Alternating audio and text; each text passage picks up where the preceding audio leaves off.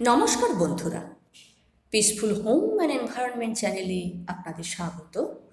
আর আমি মিসেস থারা বন্ধুরা, আপনি আপনার নিজের বাড়িতে কীভাবে প্রচুর পরিমাণে ভিন্ডি বা ঢ্যাঁড়স অতি সহজেই গ্রো করে নিতে পারবেন, সে ব্যাপারে আজ আমি কিছু ইনফরমেশন আপনাকে দেব।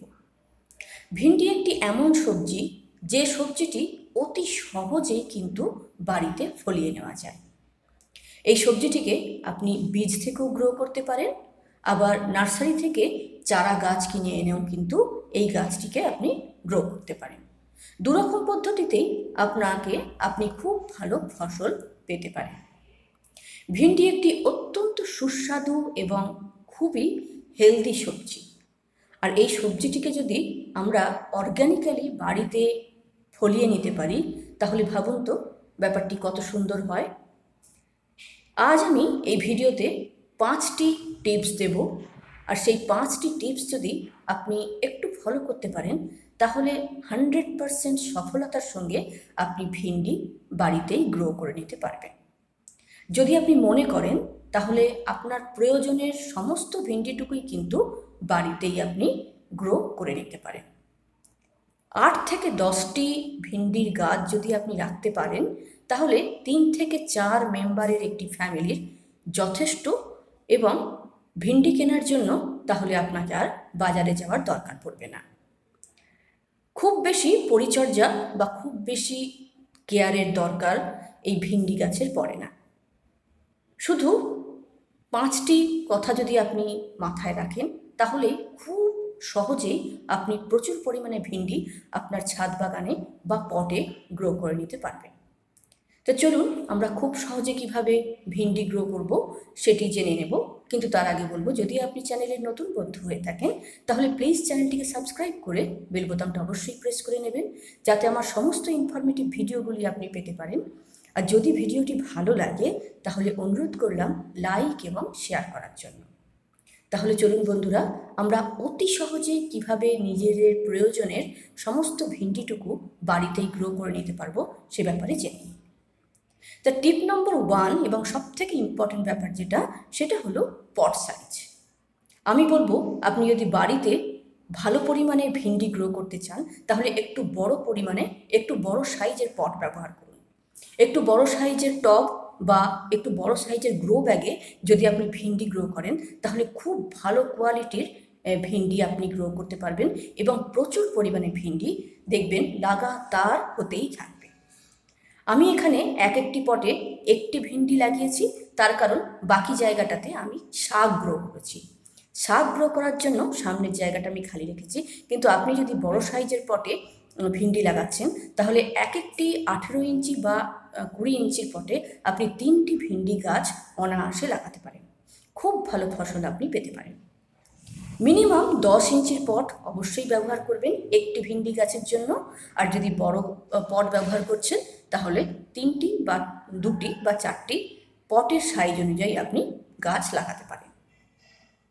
দ্বিতীয় যে ইম্পর্টেন্ট বিষয় বা দ্বিতীয় টিপ যেটি, সেটি হলো পটিং মিক্স খুব ভালো পরিমাণে, খুব ভালো কোয়ালিটির ভিন্ডি আপনি যদি বাড়িতেই উগিয়ে নিতে চান বা গ্রো করতে চান, তাহলে মাটিটি অবশ্যই এমনভাবে তৈরি করুন যে মাটিতে ভালো পরিমাণ পুষ্টি থাকবে। সেজন্য মাটিটি আপনি এইভাবে তৈরি করুন। পঞ্চাশ পার্সেন্ট গার্ডেন সয়েল এবং পঞ্চাশ পার্সেন্ট কম্পোস্ট মিশিয়ে নিন এবং তার সঙ্গে যদি আপনার কাছে একটু নিমখোল থাকে, তাহলে এক মুঠো নিমখোল মিশিয়ে যদি নিতে পারেন, তাহলে ভিন্ডি চাষের জন্য অত্যন্ত ভালো মাটি তৈরি হয়ে যাবে। কম্পোস্ট আপনি যে কোনো কম্পোস্ট ব্যবহার করতে পারেন, গোবর সার হোক ভার্মি কম্পোস্ট হোক বা লিফ মোল্ড হোক, আপনার কাছে যেটি আছে সেটি আপনি ব্যবহার করতে পারেন।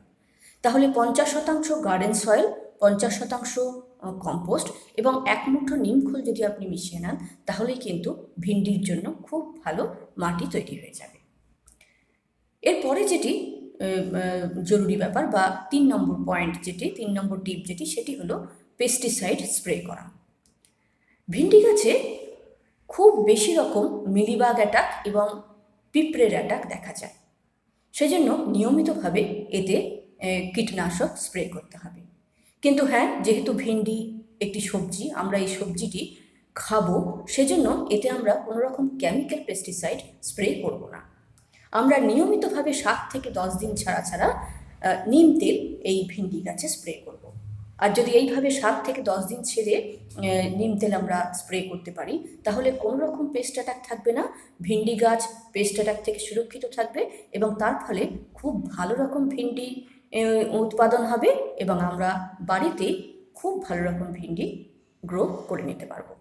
এই যে দেখছেন, একটি মিলিবাগ এবং দু চারটি পিঁপড়ে দেখা যাচ্ছে, আমি দেখা মাত্রই সঙ্গে সঙ্গে হাতে করে পরিষ্কার করে দিলাম।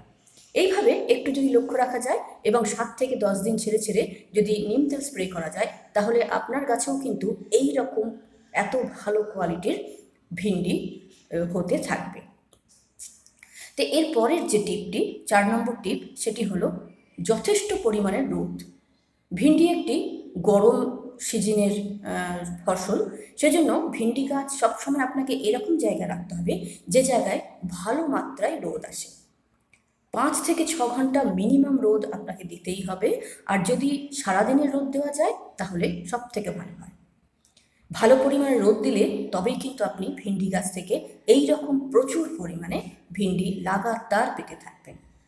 যদি ব্যালকনির এক দেড় ঘণ্টা বা দু ঘণ্টা রোদে আপনি ভিন্ডি চাষ করতে চান, তাহলে কিন্তু খুব ভালো পরিমাণে ভিন্ডি আপনি কোনো দিনই পাবেন না। সেই জন্য ভিন্ডি গাছকে আপনি এমন জায়গায় রাখুন, যেখানে মিনিমাম পাঁচ থেকে ছ ঘণ্টা রোদ গাছটি পেতে পারে, আর তার থেকে বেশি পেলে আরও বেশি ভালো হয়। এবার পাঁচ নম্বর বা লাস্ট টিপে আমরা যাব। সেটি হলো ফার্টিলাইজেশন যদি আমরা মাটিতে ভেন্ডি বা ঢ্যাঁড়স চাষ করছি, তাহলে তার জন্য খুব বেশি কিছু করার দরকারই পড়বে না। শুধু মাটিতে খানিকটা কম্পোস্ট মিশিয়ে সেটিকে খুঁড়ে নিয়ে যদি বীজ বা গাছ লাগানো যায় এবং সময় সময়ে জল দেওয়া যায়, তাহলেই কিন্তু ভেন্ডি গাছ খুব ভালো গ্রো করে এবং ভালো ভেন্ডিও পাওয়া যায়। কিন্তু যদি আমরা পটে গ্রো করি, তাহলে কিন্তু নিয়মিতভাবে একে একটু খাবার দিতে হবে। তো সেটা কীভাবে দেব? আমরা প্রত্যেক মাসে দু মুঠো কম্পোস্ট এবং দু চামচ নিম খোলি, নিমের খোল মাটিতে মিশিয়ে একটু খুঁড়ে দেবো মাটিটাকে আর প্রত্যেক দশ থেকে বারো দিন অন্তর তরল সার অবশ্যই দিয়ে যাব। কম্পোস্ট আমরা যে কোনো কম্পোস্ট নিতে পারি। আর গোবর সার বা ভার্মিক কম্পোস্ট বা পাতা পচা সার যেটি আছে সেটি আমরা প্রত্যেক এক মাস অন্তর দু মুঠো মাটিতে দেব। আর দু চামচ নিম খোল দেব। আর তার সঙ্গে তরল সার, সেটা সর্ষের খোলের তরল সার হতে পারে বা ঘুঁটের তরল সার হতে পারে। আবার সবজির খোসা ভেজানো তরল সারও হতে পারে। যে কোনো একটি তরল সার আপনি দশ বারো দিন অন্তর লাগাতার দিয়ে যান এবং মাসে একবার যদি কম্পোস্ট এবং নিমখোল আপনি মাটিতে মিশিয়ে দিতে পারেন, তাহলে আর বেশি কিছু করার দরকার পড়বে না। আপনিও দেখবেন এই আমার গাছের মতো ওপর থেকে নিচে পর্যন্ত ঢ্যাঁড়স ভরপুর মাত্রায় হতেই থাকবে এবং আপনি নিয়মিতভাবে হারভেস্টও করতে পারবেন। তাহলে বন্ধুরা আপনিও এতটুকু পরিশ্রম বা এতটুকু পরিচর্যা করে দেখুন বাড়িতেই প্রচুর পরিমাণে ভিন্ডি আপনি গ্রো করে নিতে পারবেন।